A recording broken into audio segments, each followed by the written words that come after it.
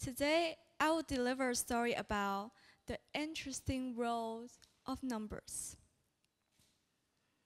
Now, firstly, take a look at this picture. Although it seems a little blurry uh, in the screen, but you can have some guesses. The picture was taken in November in 2020. Do you now have a better guess? And before I tell you what this picture is about, let's imagine together. When I say the number 25, and that's the temperature, do you feel hot at this temperature? Please raise your hand if you feel hot. 25? Okay.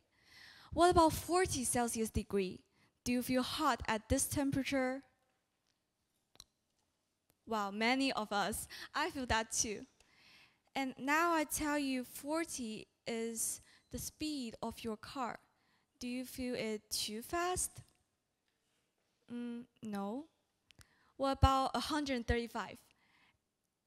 Is the speed. Do you feel hot? Uh, do you feel fast? Yeah, I feel that too. And it even exceeds the highway restriction, right? And now I tell you the 135 is 135 pounds, which is about 61 kilograms. And that is your weight. How do you feel about it? Do you feel comfortable or uncomfortable? If you feel uncomfortable, please raise your hand or nod if you like. I know it differs between ages and genders, but I feel way too comfortable at that weight. And I decided to make myself not feel comfortable by limiting my food intake.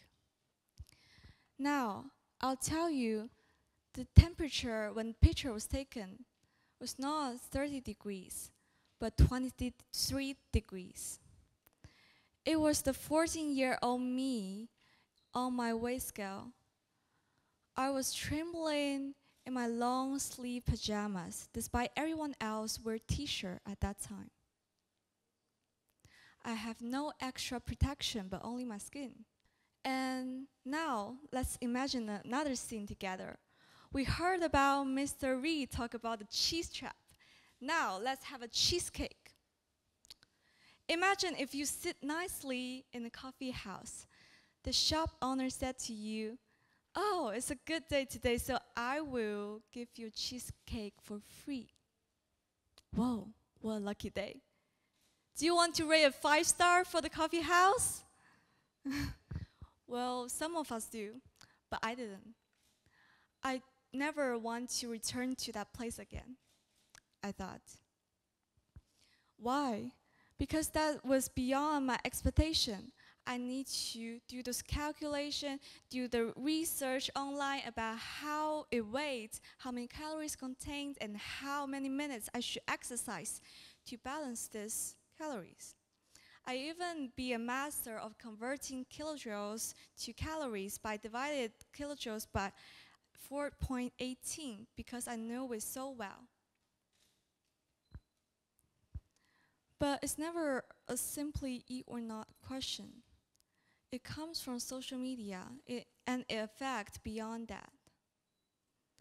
Now, I will share a picture with you and please raise your hand if you ever seen those products or even try one of those. When I walk on the street, I usually hear or listen to people talk about how to lose weight using different methods.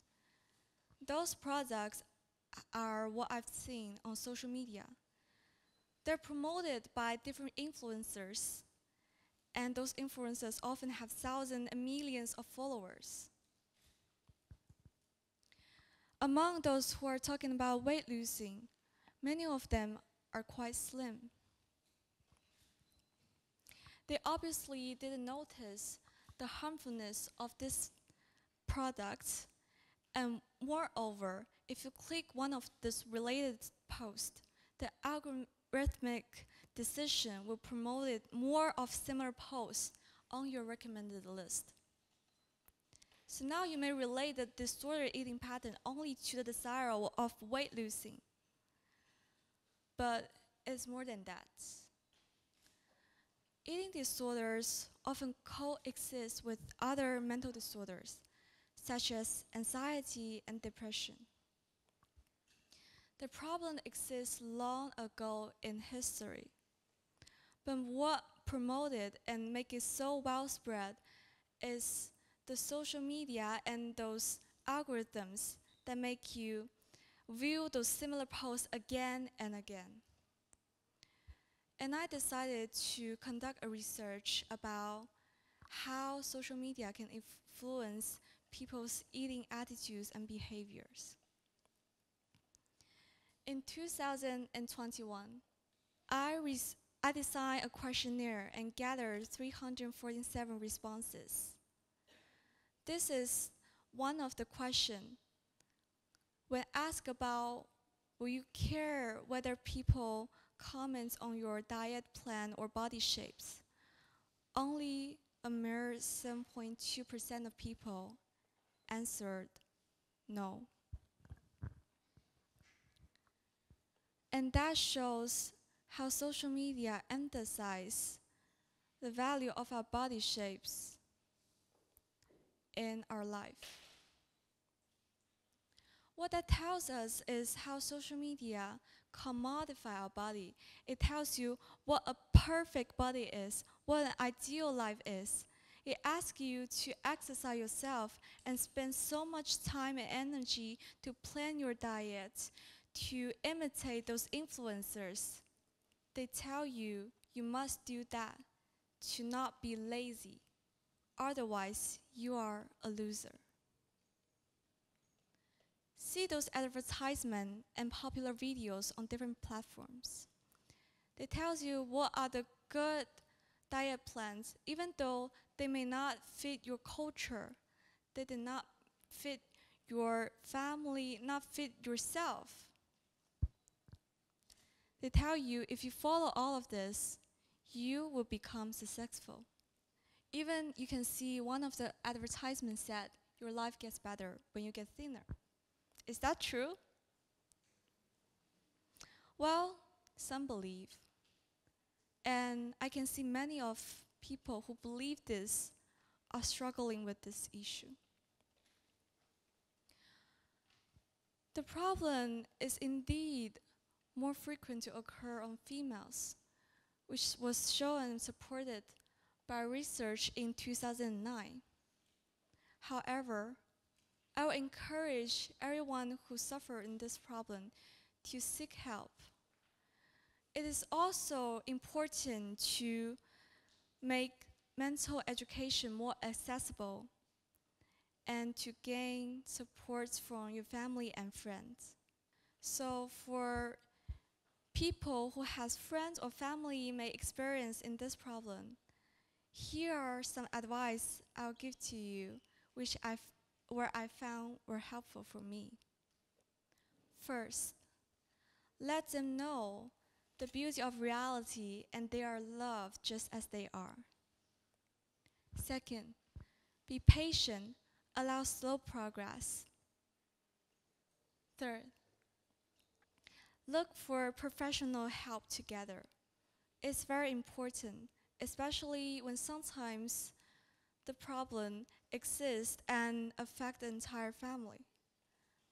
And the last, enjoy food together and appreciate the positive value brought by food. Before I conclude, I actually want to share some of my struggles during the preparation process. It's a little challenge to reveal all the experience I have and obstacles I experience.